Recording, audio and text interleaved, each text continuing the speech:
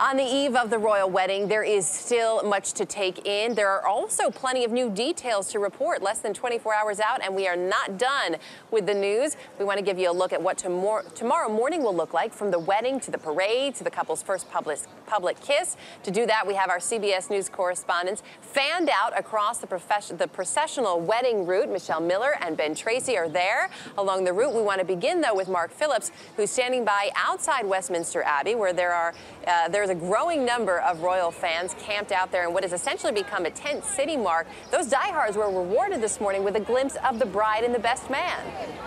Yeah, they were. If there's a ground zero in this event, this is it. Uh, the tent city has been forming for a couple of days now, probably, I don't know, three or 400. It'll be well into the thousands by the time this happens tomorrow. This may be the most coveted bit of real estate on the planet right now. People still trying to get in. They did get a glimpse of the royal party coming to rehearsals here. We're right across the street from Westminster Abbey, and these are probably the best seats in the house, unless, of course, you're actually in the house. But this is where people will get, and us, will get the first glimpse of Kate, of the dress, of everything that you've just been talking about with Sharon Osbourne. This is uh, really where the festivities, the celebration, and of course, this great marriage really begins. Erica? Not a bad spot for you to be, Mark. Thanks. And along the route on the Duke of York steps along the Mall, uh, which is the route that the newlyweds will take from Westminster Abbey to Buckingham Palace, we find Michelle Miller. Michelle, good morning. Good morning. A lot of setup along the Mall here at the Duke of York steps, uh, barricades and the like. This is uh, the place that leads up to the main boulevard that leads up to the Buckingham Palace. And Kate Middleton and uh, Prince William will travel along this route not once, but twice. Of course, first Prince William as he comes from Clarence House to the Abbey with his best man and brother Prince Harry in tow. And then, of course, Catherine Middleton will be escorted by her father on the way to the Abbey. Once the wedding is over, they will travel down the Horse Guards Parade, that street right there. They will turn onto the Mall. Hundreds of thousands of people expected, both uh, their subjects and visitors alike.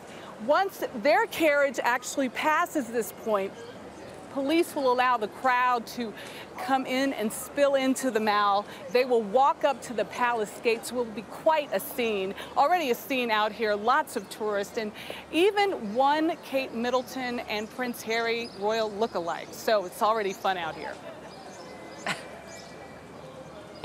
and probably not the last ones you'll see, Michelle Miller. Thanks. We want to move up that route now to Ben Tracy, CBS News correspondent, who's standing outside of Buckingham Palace, where we will see essentially the grand finale of the parade. Right, Ben?